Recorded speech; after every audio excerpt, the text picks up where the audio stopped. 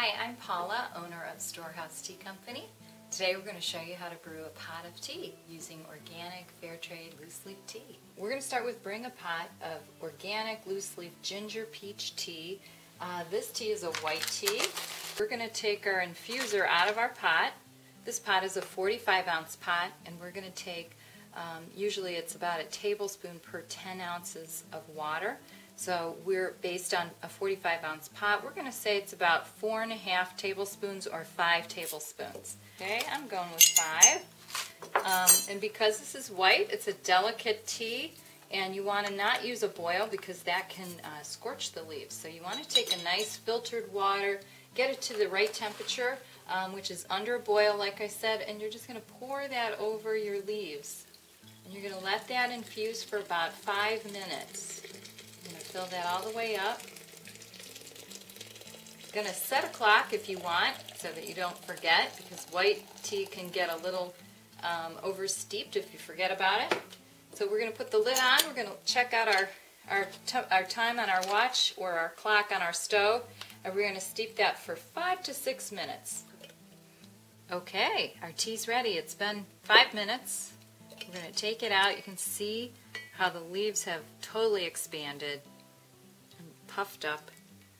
Um, the characteristics of white tea have, there's a little silvery white down bud and the two leaves under it, and that's what's picked for the white tea. Okay, now we're ready to serve our tea.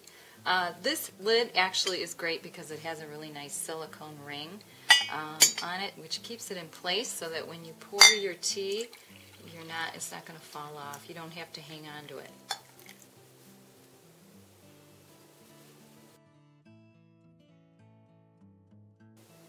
Okay, this is our 15 ounce infuser mug. And these are great for work or if you're the only tea drinker in your house. It's a nice big mug, 15 ounces. Um, it has a nice lid to keep your tea warm. And you have to look at the um, instructions on every package to tell you if it's a tablespoon or a teaspoon. Uh, but you want to put like one and a half, if you're doing a white tea, one and a half teaspoons in here to two, depending on the flavor.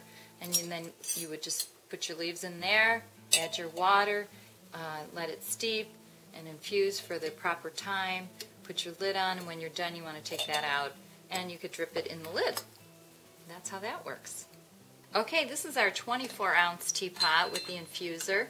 Uh, you want to just fill that up with two and a half teaspoons of tea leaves or two and a half tablespoons.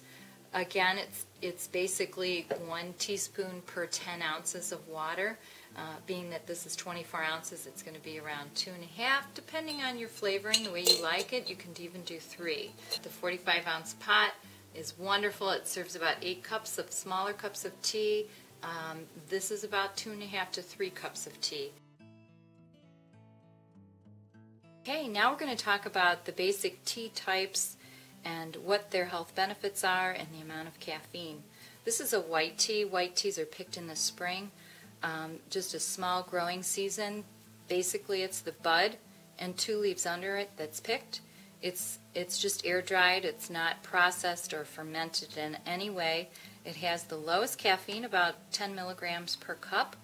Um, coffee typically has 120, so it is the lowest in caffeine out of all the tea types. The highest in antioxidants, though. This is a Sencha green tea. There's about 20 milligrams of caffeine per cup in green tea. Basically, this is the second in the level of caffeine out of the tea types. It's typically steamed um, or air dried. The green teas uh, retain a lot of the natural antioxidants.